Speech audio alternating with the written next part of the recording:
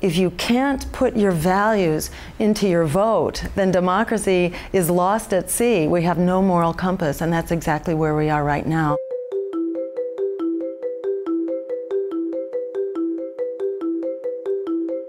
People are hungering for more choices, but the American political system excels at suppressing the voices of opposition.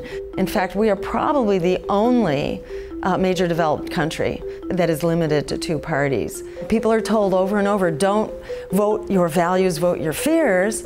But what we got was everything we were afraid of, all the reasons you were told that you had to vote for the lesser evil because you didn't want the massive expanding wars, you didn't want the meltdown of the climate, you didn't want the massive Wall Street bailouts, you didn't want the offshoring of our jobs.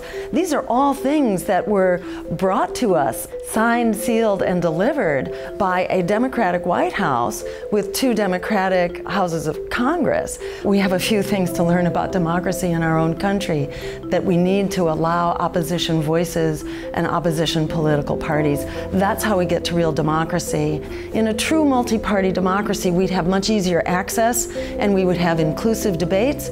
So you have many more points of view, much more diversity, and it's much harder for corporations to take control, to buy out the two parties, and basically censor and eliminate all other non corporate points of view, like living wages, like the right to a job, like the right to free higher education. Those are critical issues, and we need an open democracy to be able to bring them into our political system.